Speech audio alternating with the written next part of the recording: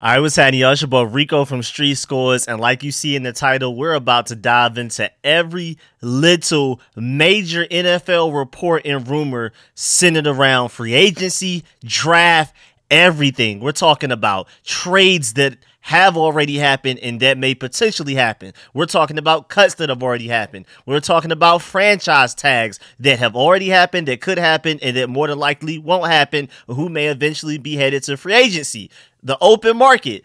Also, a lot of draft stuff as well. And let me go ahead and preface this with the fact that for all of my Commanders fans out there, a lot of this information will be useful for you, but this is like an entire NFL thing. The goal of this video is really to inform everybody about everything that I'm hearing so far that I can find in any corner of the internet. And like, say you're doing first round mock drafts for all 32 NFL teams, this will give you a better idea of what to predict. Or even from the point of view of a Commanders fan, you know this guy's a available, this guy may not be available, and this player that you may specifically want at this specific position in free agency, there's other teams interested in that same player as well, so you have some competition. So this is a general all major NFL reports and rumors situation. Some of it factual, some things that have happened, some things of rumors may happen. A nice healthy blend of both. Let's have fun. But before we dive into all of that, make sure you stiff arm that like button, stiff arm the subscription button, stiff arm the bell next to that subscription button so you get notification each and every time I release an informative and opinionated video just like this one. I'm gonna keep y'all up to date with everything. Of course, my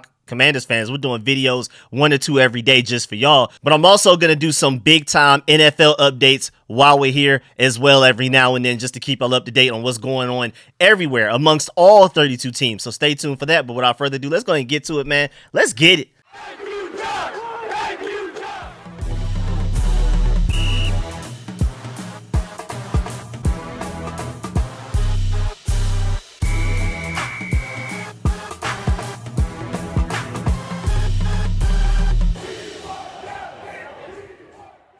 All right, so I feel like it's only fitting to go ahead and start with the QB carousel. And there's a lot going on just quarterback wise alone. Like Russell Wilson is officially released by the Denver Broncos. But even though he will not officially be released until after the new league year, March 13th, he is now free to talk to prospective teams. Per source, the Broncos have no issues with that. So he is essentially a free agent already, but technically they will not be releasing them until March 13th. Remember, the tampering period starts March 11th, so we'll start to see things like such and such signed to such and such team for this amount of money over the course of these amount of years. And then usually once the new league year starts as of March 13th, that's when we start to get like real details about roster bonus, signing bonus, guaranteed cap hits for specific years and things like that. But just know we're less than a week away from free agency really kicking off. I'm super excited. And Russell Wilson being released officially by the Broncos is big news, man. That's going to start it off. That's going to be a domino effect because some of these QB needy teams, maybe like the Falcons, we'll talk about that later, are probably looking for a guy like Russell Wilson. So that could potentially take them out of the running for trading up for a quarterback in the draft. Again,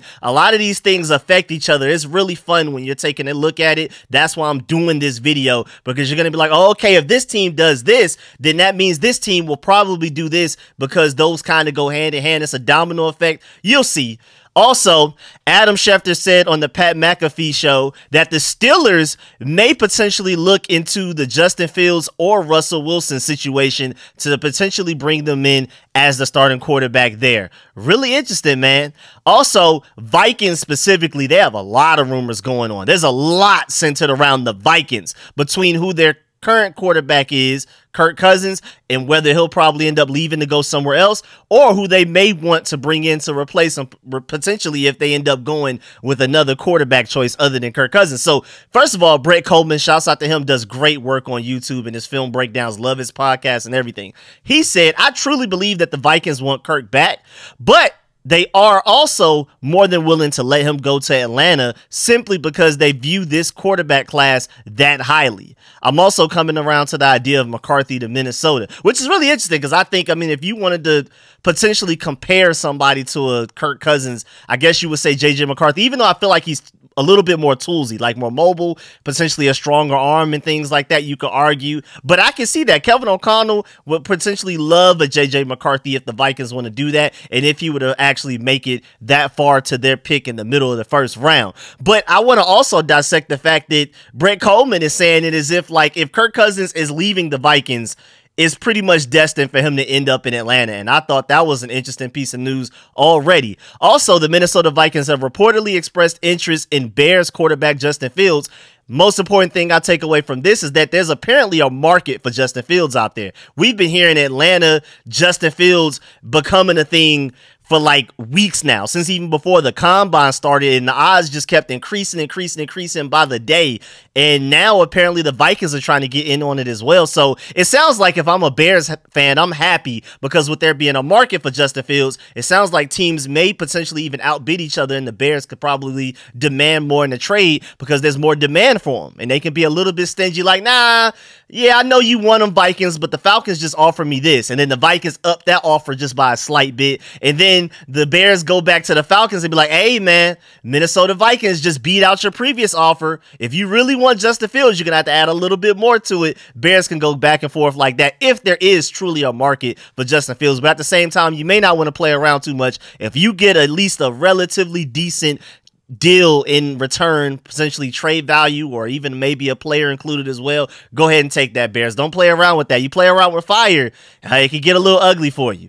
And then also, Apparently, Cowboys quarterback Trey Lance could be a possible solution at quarterback for the Vikings if they lose Kirk Cousins to free agency. Someone at the combine told Rich Eisen. This is coming from Rich Eisen. I'm also trying to make sure I include where this source is coming from so it doesn't sound like I'm just making stuff up. Also, reportedly, the Minnesota Vikings have even looked into Sam Darnold as a possible option if Kirk Cousins moves on. So that's two ex 49ers quarterbacks in a row, even though Sam Darnold wasn't drafted by the 49ers, but both of those guys, Trey Lance included, have played for the 49ers before. Also, the Falcons are expected to make a strong push for Vikings Kirk Cousins. Cousins was in Washington with Raheem Morris. Remember that? Remember that all star 2013 coaching class with Bobby Slowik and Mike McDaniels and Kevin O'Connell, I believe, and Kyle Shanahan, Sean McVay, Raheem Morris, maybe not Kevin O'Connell yet, but everybody else I named, all on that same Matt LaFleur, don't forget him as well, all on one coaching staff, and Kirk Cousins was there back then. So he does have a relationship with Raheem Morris, who is now the head coach for the Atlanta Falcons after being the defensive coordinator for the Rams. And once upon a time, when he was the defensive backs coach for the Washington well, Redskins at the time when Kirk Cousins was there before he left to go to another team for another job. Also, last thing to speak on with the Vikings, there's a report that Kirk Cousins to the Atlanta Falcons is actually starting to heat up. So this is not just the Falcons pursuing Kirk Cousins. Apparently, from several league sources around, this is coming from NFL DraftDiamonds.com. A lot of different sources are saying that maybe it is Kirk Cousins to the Falcons. But again, we were getting that same level of aggression and multiple sources saying the same thing about Justin Fields to the Falcons. So who knows? We'll see when it happens. And then the Patriots also also have a couple of updates surrounding them as well because 2023 backup quarterback Jacoby Brissett has apparently received some interest from the Patriots as a potential bridge quarterback while the quarterback that they end up taking in the draft develops potentially with the number three overall pick. But if they were to get like a Jacoby Brissett in free agency, somebody that can start right now for them that plays at at least a decent level, then maybe they'd be willing to trade back from the number three overall pick and take a riskier quarterback rather than like a Drake Maye or Jayden Daniels or definitely I, I, I'm pretty sure Caleb Williams coming number one overall. But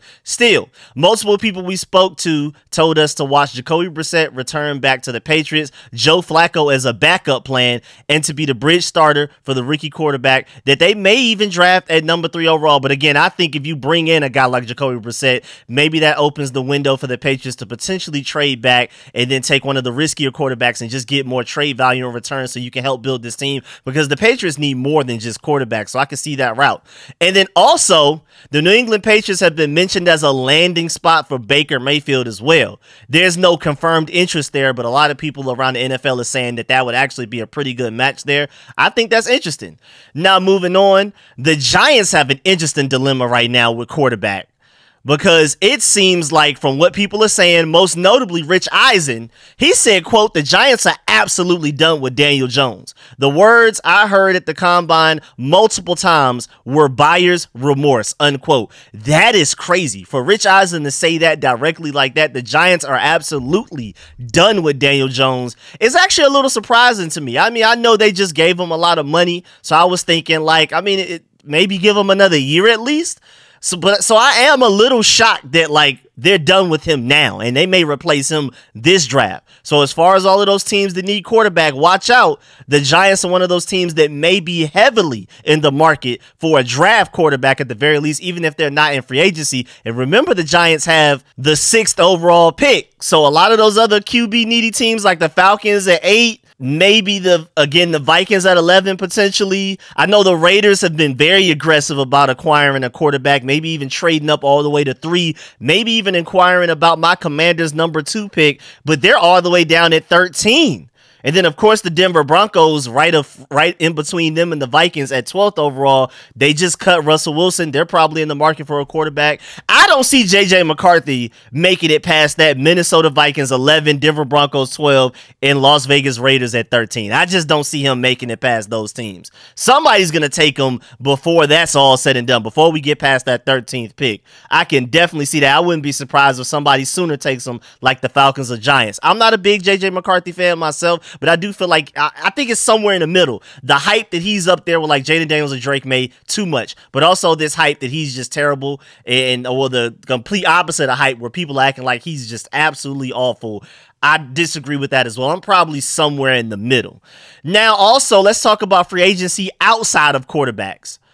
So apparently the Patriots plan to pursue Tyron Smith in free agency. And let me go ahead and let you know this now. I haven't seen any report or rumor about this, but I will be shocked if my commanders don't pursue Tyron Smith with with Dan Quinn and Joe Whitt Jr. leaving the Cowboys to come here as a head coach and defensive coordinator. Now, granted, none of those guys are on the offensive side of the ball, but I'm pretty sure they've noticed how much Tyrann Matthew mattered to the Cowboys and the success they've had the past few years. So I would be extremely surprised if the Commanders aren't pursuing him as well. Let me just go ahead and throw that out there as a Commanders fan. We need tackle in the worst way. We need a tackle before we release Charles Leno. Then after we release Charles Leno, I couldn't even tell you who our starting left tackle may be. And then we still have Andrew Wylie at right tackle, so we probably need two of them. So even after we sign Tyron Smith, I'm still like, I don't know, man. Still may want to go tackle with our second round pick. We'll see.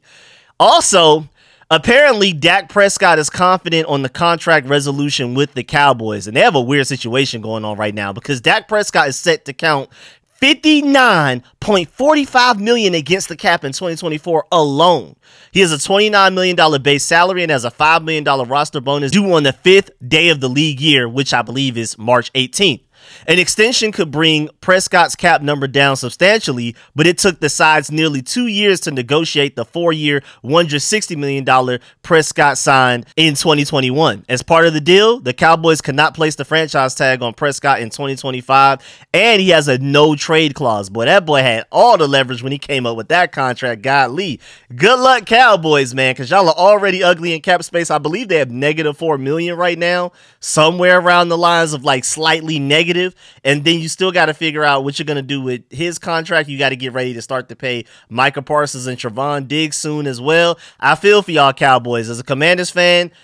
I hope y'all don't figure it out, but boy, it's ugly. I can, hey man, whoo wee.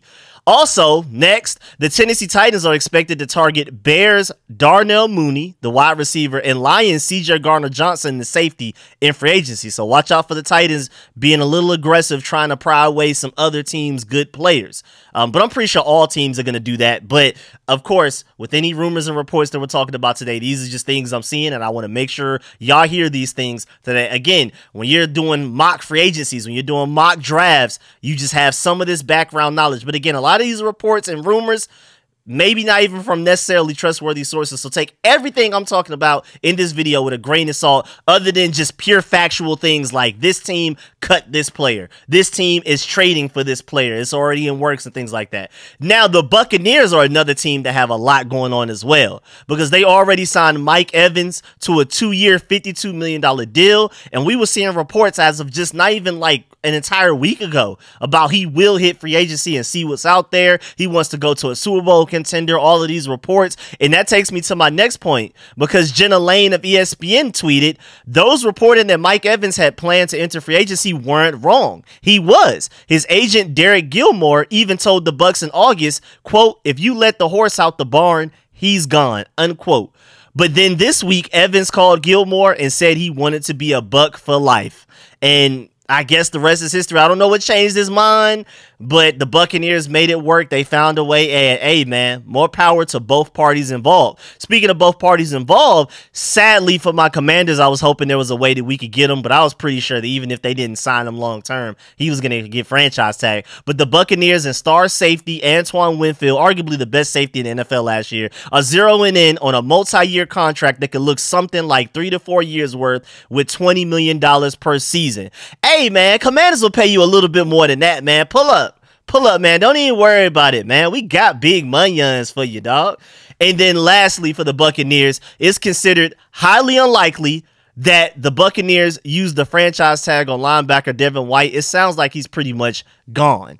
And it, he's such an interesting case because he was looking like one of the best linebackers in the league just a couple of years ago, and then he just suddenly fell off the face of the earth. Somebody must have space jammed his powers away because it's like absolutely ridiculous looking at his tape from, say, like 2021 or 2020 compared to what he looked like this past season. I really don't know why it's that bad. I don't even remember him having any like major injuries that could have contributed to this. I don't know what happened, but this is being reported from Matt Lombardo NFL. So again, sources coming from all different places with a lot of things. Now let me update y'all on a lot of guys that have already been cut or released. The Giants officially released Mark Glowinski, if anybody wants him as an offensive lineman. The Vikings have released running back Alexander Mattison. If y'all do fantasy football, y'all know how valuable Alexander Mattison has been, especially when Dalvin Cook was there and he would get hurt. So this was a guy you could kind of steal off a waiver wire that would give you like running back two fantasy production at worst sometimes. Like he was killing it. He saved a couple of my fantasy leagues a couple of years ago. So more power to Alexander Mattison. Anybody that's in need of a running back, hey man, there you go right there. I'm surprised the Vikings moved on from him. Also, the Buffalo Bills are expected to release running back Nyheim Hines, and the team will save $4.6 million in cap space from that move. Also, the Patriots we're expecting to release JC Jackson to save $14.3 million on their salary cap as of February 15th.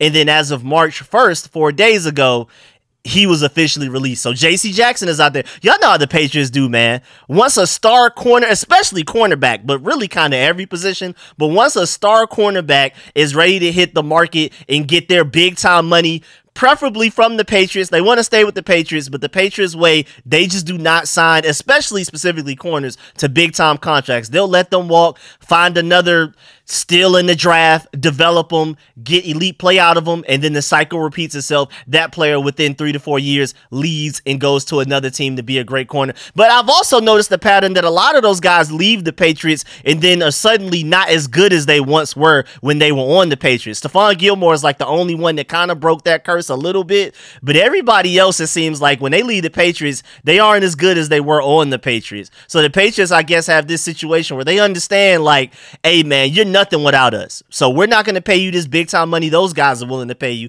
Yeah, go ahead and get your money from them, but you're not going to be as productive with them as you were with us. So, hey, man, evil stuff, but business is business. Shouts out to the Patriots for having a system going. Also, the Philadelphia Eagles are releasing safety Kevin Byard. The move will save them $13 million in cap space. And remember, the Eagles just traded a fifth, sixth, and Terrell Edmunds for Byard in October. And that was a big time trade. That was one of those trades as a Commanders fan. I was looking around like, hey, what?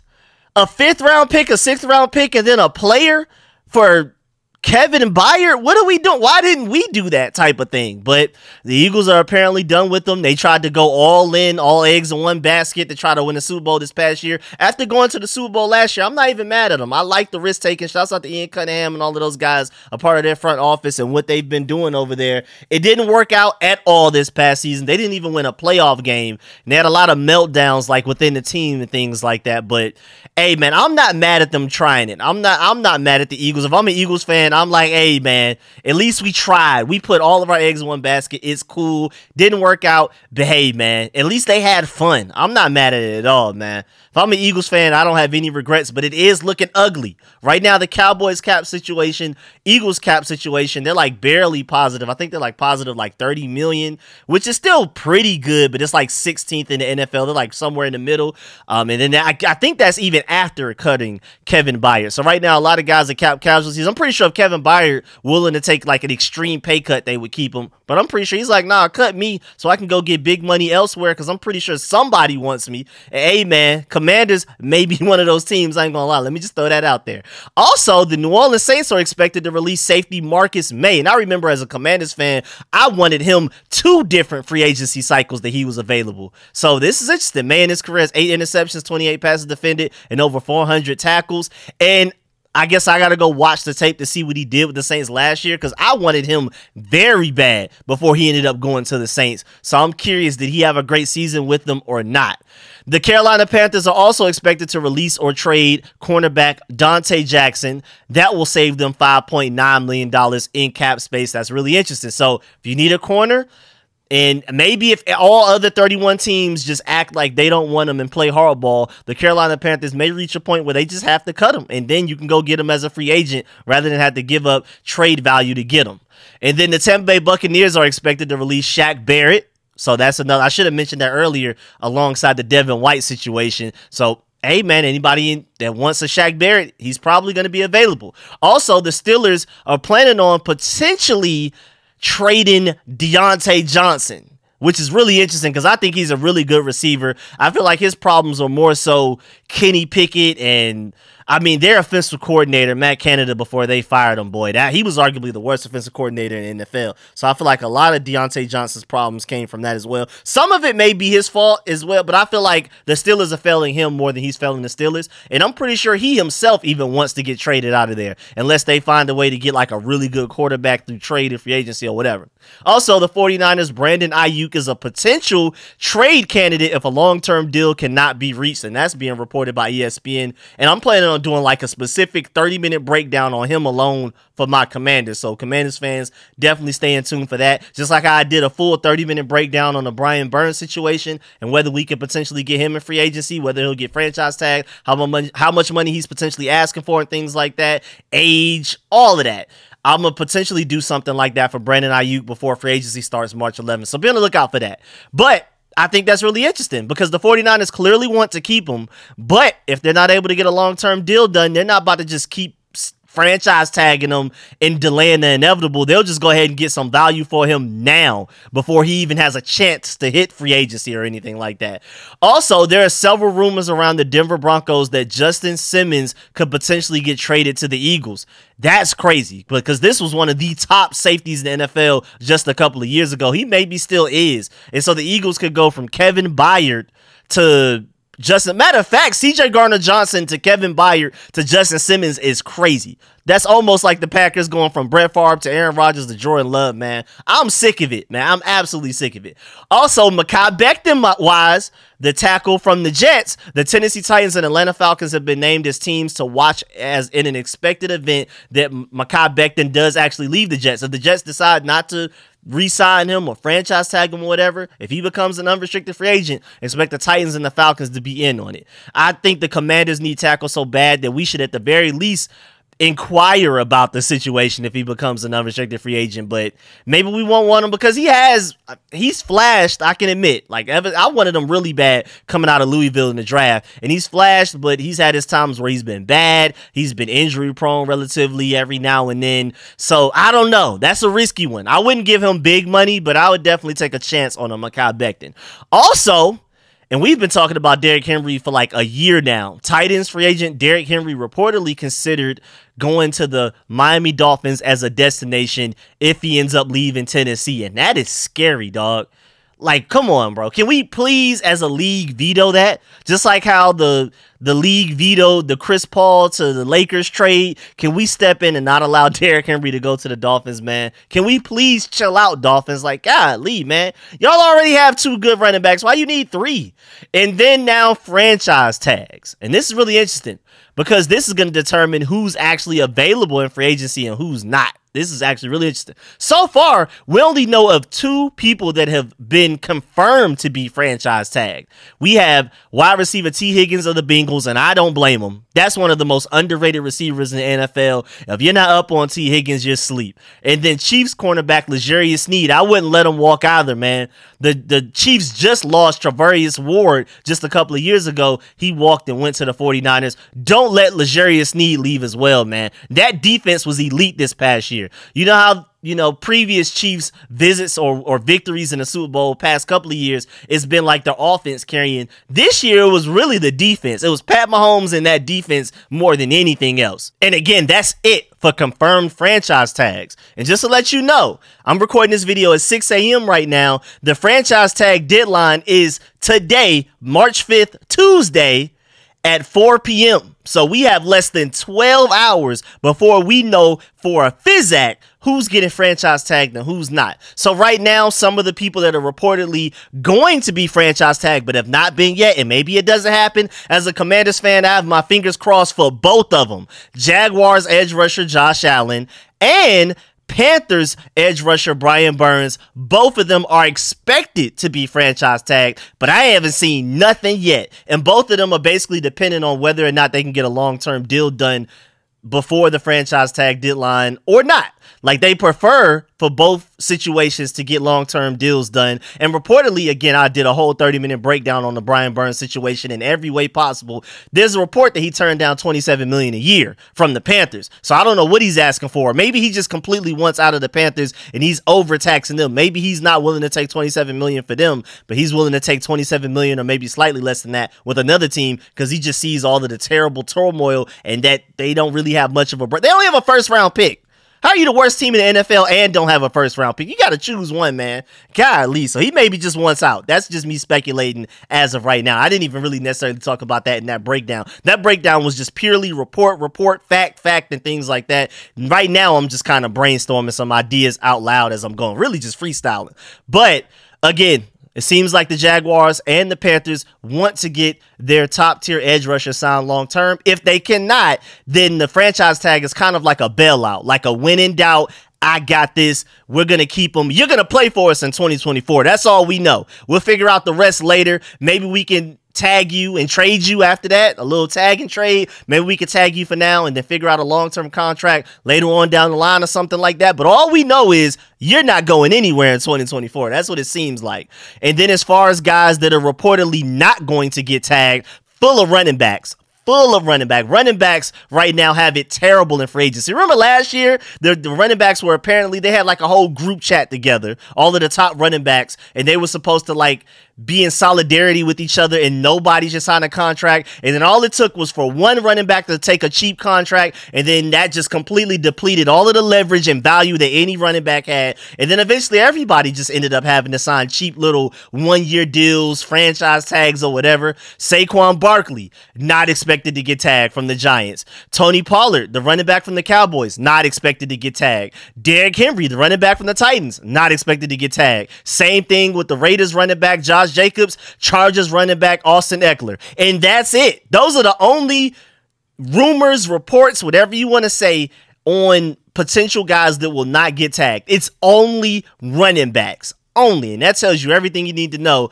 about how running backs are valued, at the very least in free agency. I still feel like in the draft, we're definitely kind of playing them a little bit. Like you could take running backs a little bit sooner than that. But then again, if everybody plays chicken on the running back position, then that means that you know, if everybody's in cahoots, and I mean, this is really evil, but if every all 32 teams just all come together and be like, hey, if you don't draft a running back in the first round, I won't.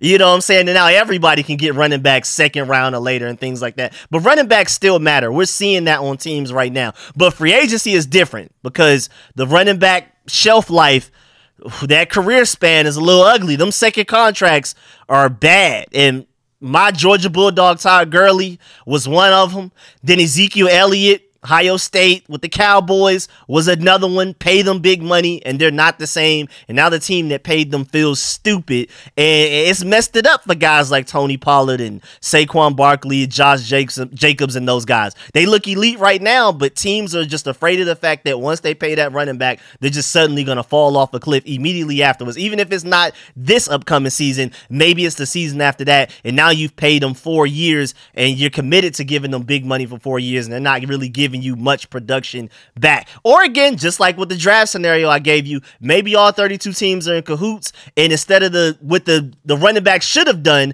as far as being in solidarity with each other, maybe all 32 teams are in solidarity with each other and like, hey man, I won't give a running back top money if you don't. So we can all win. All 32 teams win. We can all get these running backs for cheap.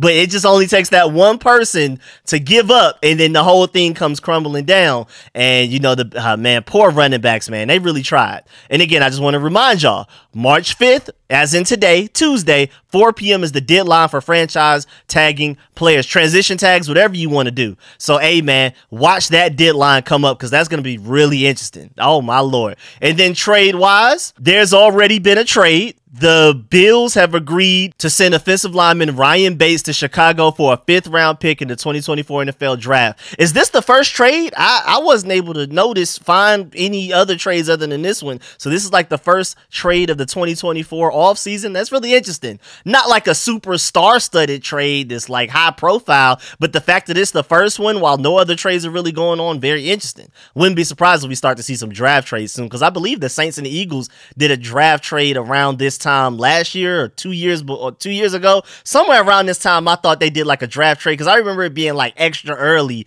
Like, dog, I didn't even know we were doing trades yet. And they out here doing these weird first round trades and things like that. But now what's really interesting that the Bears only have five picks in the NFL draft. They pick twice within the first round, pick one and nine. And then after that, they don't have a pick until the third round. And then they have two fourth rounders. And that is it. That is really weird. So right now, the Commanders easily have the most draft capital, the most draft value in this entire draft because we pick second, and then we have two seconds, we have two thirds, fourth, fifth, sixth, seventh. So, man, Bears, that's a really interesting situation. I mean, y'all literally draft twice in the first round. And then you might as well just turn the draft off after that if you're a Bears fan. By like 10 p.m., you're done. By 9 something, you're done. And then you might as well not even turn it back on until round three, which is going to be probably like 10 p.m. on Friday. And then you can start watching early Saturday morning for round four. And then by the time you're done with your second, fourth round pick, you you might as well go ahead and turn the TV off again. That's a really interesting draft situation for those guys. Only five picks, and two of them are within the top 10 of the first round. That's really weird, y'all. And then draft rumors wise, this is where it gets really interesting. The Raiders have inquired about trading up to picks five, six, and seven right now. Maybe they're targeting one of those lesser quarterbacks. That's what it sounds like because they know, again, with them being at 13th, maybe they need to trade up to five, six, or seven to potentially beat out, say, the Vikings, or even that's like this the seventh spot is one spot ahead of the Falcons, and they know that the Falcons are probably pursuing quarterback heavily, especially if they don't get like a Russell Wilson or a Kirk Cousins. If they're if the Falcons decide to go draft quarterback, the Raiders may literally trade up with the Titans to move one spot ahead of them to get the quarterback that they both want. That's really interesting. I'm surprised the Raiders aren't reaching all the way up to number three, though, because I've heard reports that the Patriots are more likely to trade back than my commanders are at number two. So maybe the Raiders should at least give the Patriots a call to see, hey, man, you know, it's probably a lot of value, though. Oh, my Lord. The amount of picks you got to give up to move from 13 to 3 with a really good, at least three quarterbacks in this class. That's interesting. Also, the Las Vegas Raiders have called the Patriots about the third overall pick and are expected to target LSU quarterback Jayden Daniels with that pick. So there you go. All right. So I was just questioning. I'm really surprised they haven't at least called the Patriots. There you go. They've also reportedly called the um, Patriots, but the first report about them calling about five, six, and seven seems more like a report from the Athletic, and then the, them calling the Patriots seems more like a rumor because that's coming from NFL rumors, and you know how that goes. But of course, I don't know a lot of people know, but Antonio Pierce literally recruited Jayden Daniels to Arizona State. So Jayden Daniels loves Antonio Pierce. I'm pretty sure he would love that scenario if it were to happen. Also, Joe Klatt said that he would be surprised if JJ McCarthy isn't drafted in the first 15 picks. And some people are kind of freaking out about it, but I wouldn't be surprised. I personally would I don't like JJ McCarthy enough to take him in the top 15. Like if I'm the Commanders, even if you're tired of Sam Howell and we trade back, do not take JJ McCarthy in the top 15. In my per- I don't like him that much, but I just already know with the how valuable the QB position is, with it technically being the most valuable position in arguably all of sports. Then right after that, I guess you have like edge rusher, then left tackle right after those, and probably like in a close third place. But with quarterback being so valuable, even if JJ McCarthy isn't that great it's just they get overdrafted. Running backs get underdrafted, quarterbacks get overdrafted. That's just how it works, man. Plain and simple. And I mean, it's just the way the world works. And then the New England Patriots are trending to potentially keep their third overall pick. So we were hearing reports as of just days ago that they were potentially open to trading back. But now, as of literally just a, a, couple of days ago as well, apparently the Patriots are trending towards just keeping that pick and taking whatever quarterbacks available, which means that they're very high on three quarterbacks. That's what I'm assuming. Because if you're willing to stay at number three, that means you're okay with whoever the commanders take. If you're not trying to move up in front of the commanders, potentially trade with the commanders at number two or the Bears with number one, that means you're like, hey, man, Caleb Williams, Drake Maye, Jayden Daniels, we don't care. Just give us one of them. We're happy, which is really interesting. And that also means that the Patriots have to be looking to either cut or trade Mac Jones. And there's reports that he's really been focused on improving his footwork this offseason, but I don't know if that's going to be enough to potentially – make him an attractive quarterback option for a team that needs a quarterback. But yeah, man, the Patriots are gonna have to move on from Mac Jones. I mean, maybe they could just keep him as a backup. Who knows? Also, several scouts reportedly have Spencer Rattler ranked ahead of Bo Nix and Michael Penix Jr. in this draft. Now you notice JJ McCarthy wasn't included in that. So JJ McCarthy seems to be kind of like a nothing's unanimous, but like majority quarterback four in this draft class. And then after that, some people feel like it's Spencer Rattler right after him, just off of the natural talent. Of course, like when we're talking floors, Spencer Rattler has the lowest floor out of the like the top seven, eight quarterbacks. But when you're talking about ceiling and potential, I can see it. Because remember back in Spencer Rattler's rookie season after being the number one quarterback in his recruiting class, of course a five star, people were comparing him to Pat Mahomes and everything. That talent is still there. It just takes a team to get it out of him consistently. And then he tested terrible terribly at the combine. So I don't think that helped his case, case much at all when you're trying to talk about ceiling. But when it comes to arm talent, it's there. You just got to teach him how to be a better quarterback natural God given talent. He's got it. But who boy, that that quarterback part, that nuance, the IQ, the awareness, the reading defenses and things like that, struggle.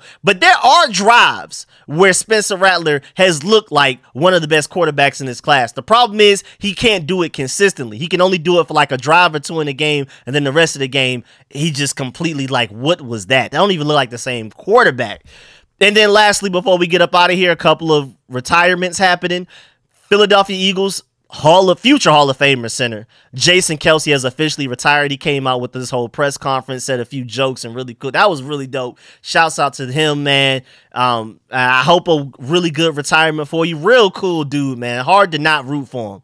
And then also, there's reportedly speculation that Philadelphia Eagles Fletcher Cox may retire, the defensive tackle. Which, as a Commanders fan, thank goodness, man. Oh, I'm sick of it. Whoo! And with defensive line right now being one of our biggest weaknesses, I'm pleased, Fletcher Cox. Leave us alone. So I think this is really interesting because it looks like the Eagles are potentially losing the middle of the trenches on both sides of the ball in one offseason. I'm surprised that Jason Kelce even came back for this previous season. I thought he would retire after the 2022 season. He came back for one more year and I mean, again, they were just like all eggs in one basket. They just went to the Super Bowl. They felt how close they were to winning it. And so they were like all hands on deck, trade for guys, bring guys in on one year deals, convince Jason Kelce to come back. Just give us one more year. And sadly, it didn't work out for those guys. Well, as a Commanders fan, I'm happy, but guys like Jason Kelce, I really like him, man. So I'm sad to see that host because you could just tell he was done. There were times last season where he just looked like he was just completely finished with football. Like he had some mental mistakes where he was getting false starts that he would never get before. You could just tell, man, they definitely convinced him to just please give us just one more season. We were just in the Super Bowl. We could take that next step to win it. Then also in very surprising news. Now I don't know how legitimate this is, but apparently New York Giants tight end Darren Waller is debating whether or not to hang up the cleats and retire. That's crazy.